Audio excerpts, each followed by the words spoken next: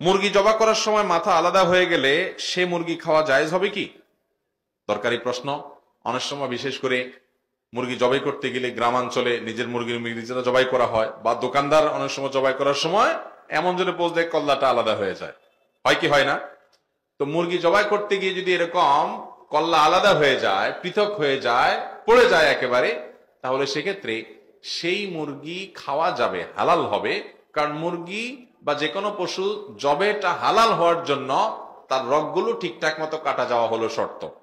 রগগুলো। চারটা রগের ভিতরে তিনটা রগ কাটা গেছে। বাস বিসমিল্লা বলে জবা করছেন, মুসলমান জবা করছে, এটুকু যথেষ্ট মুরগি হালাল হওয়ার জন্য।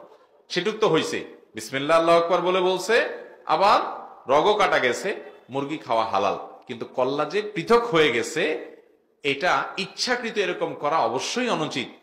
কারণ শুধুমাত্র রক কাটতে বলা হয়েছে আপনার কল্লা আলাদা করতে বলা হয়নি। তাছাড়া, কল্লা আলাদা যদি ভুলে হয়ে যায়, যে আমি করতে চাই নাই কিন্তু, সন্দেহের কারণে যে রক সব কাটা গেল কিনা, হঠাৎ দেখি কল্লা কাটা গেছে, তাহলে অসুবিধা নেই, মুরগি খাওয়া যাবে।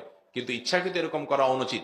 বিশেষ করে, আমরা জানি যে হিন্দুরা অনেকে পাঠা বলি দেয়, এক কবে কল্লা আলাদা করে তারপরে খায়। অতএব তাদের সাথে যেন সাদৃশ্য না হয়, মুসলমান সেজন্য আপনার বিশেষভাবে যত্নশীল হবে। যদি সেরকম কিছু করতে চায়, ওদের অনুসরণ করতে চায়, তাহলে এটা গুণা হবে। বাট এমনি বেশিরভাগ যেটা হয়, সেটা হলো ভুলেই হয়। ভুলেই সাধারণত আলাদা হয়ে যায়। এর কারণে মুরগি খাওয়া হারাম হবে না, মুরগি খাওয়া যাবে।